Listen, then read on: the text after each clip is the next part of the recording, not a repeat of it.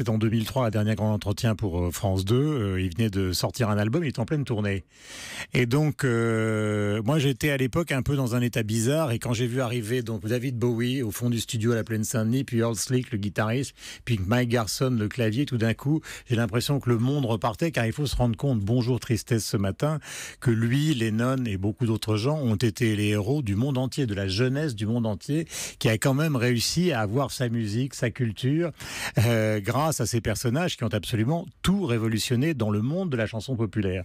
Car avant la musique, c'était quoi? Vous aviez d'un côté, au fond, Richard Strauss, Pierre Boulez, euh, et puis de l'autre côté, vous aviez la musique populaire, celle de Sinatra en France, euh, les musiques qu'on connaît, voire, voire les yéyés. Et puis tout d'un coup, dans les années 60, il y a eu un mélange curieux euh, à l'origine, ça a été les Beatles, c'est-à-dire que le sommet de la sophistication est devenu le sommet du populaire en même temps.